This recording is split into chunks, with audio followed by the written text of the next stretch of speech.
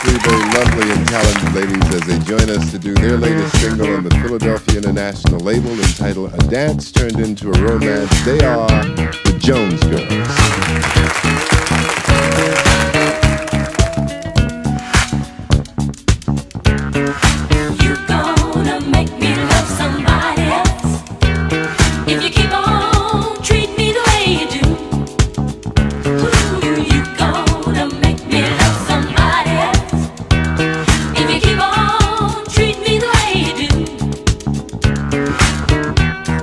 can I love somebody?